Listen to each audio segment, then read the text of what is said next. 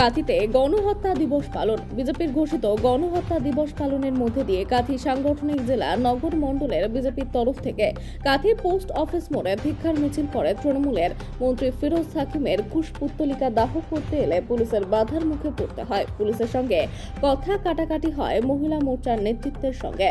বিজেপির কর্মী সমর্থকরা উপস্থিত ছিলেন। কাঁথি সাংগঠনিক জেলার বিজেপির সাধারণ সম্পাদক চন্দ্রশেখর মণ্ডল, রাজ্য কমিটির সদস্য অমলেন্দু পাহাড়ি কাথি নগর মণ্ডলের সভাপতি সুশীল দাস কাথি নগর সম্পাদক সাহেব গেরে, মুনমুন দাস, অপর্ণা বেরা পাল, শম্পা পাল তথা সহ বিজেপির নেতৃত্বরা।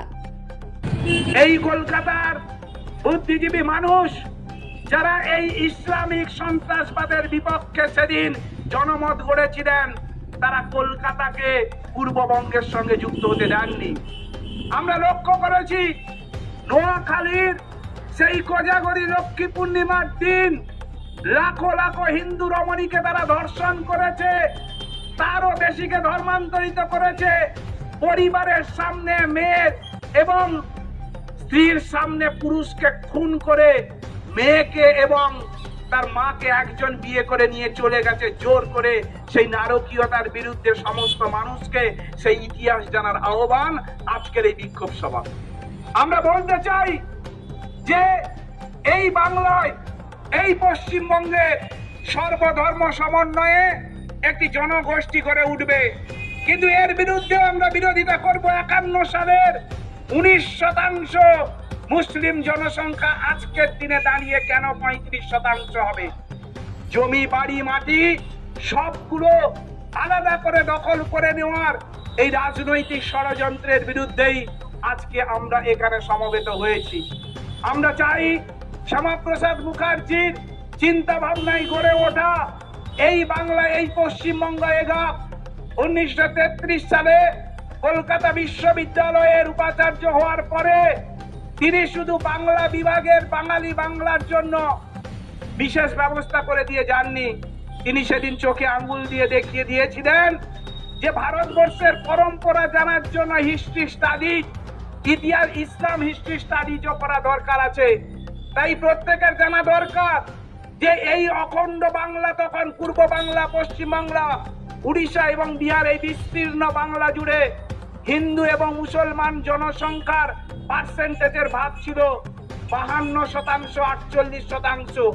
মাত্র পাঁচ শতাংশ বেশি মুসলিমরা ছিল। কিন্তু সেন যুগের বারোশো নয় খ্রিস্টাব্দের পরে আর এই বাংলায় কখনো কোনো অমুসলিম রাজা এখানে রাজত্ব করতে পারেনি।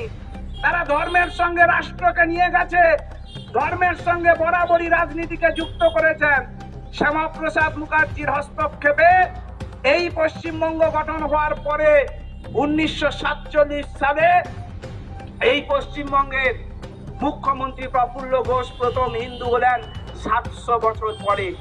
তাই আমরা ভারতবর্ষের পরাধীনতা, ইংরেজের একশো নব্বই বছরের ধরি না আমরা ধরি ভারতবর্ষের পরাধীনতা বারোশো বছর ধরে যারা ভারতবর্ষের সিংহাসনে, মুসলিমরা ভারতবর্ষের সমস্ত স্থাপত্য, সংস্কৃতি এবং ধর্মকে নস্বাত করে দেওয়ার চেষ্টা করেছে।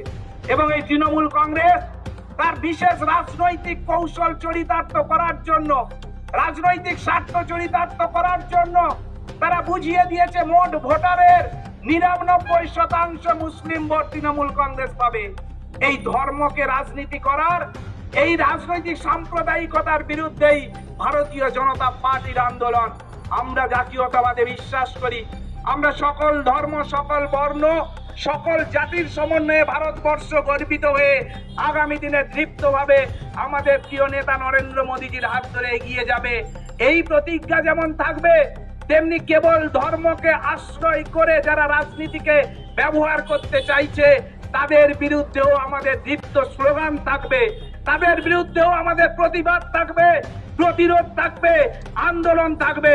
তাই আজকের এই বিক্ষোভ কর্মসূচিতে সকল স্তরের মানুষ, যারা পথ চলতি মানুষ, আমাদের সঙ্গে যুক্ত হয়েছেন, যারা দোকানদার বন্ধুগণ আমাদের সঙ্গে যুক্ত হয়েছেন, রাষ্ট্রবাদী মুসলিম মানুষজন যারা ভারতবর্ষের জাতীয়তাবাদ, ভারতবর্ষের একত্রাবোধ, ভারতবর্ষকে এগিয়ে চলাকে সমর্থন করেন, তাদের যুক্ত হয়েছেন।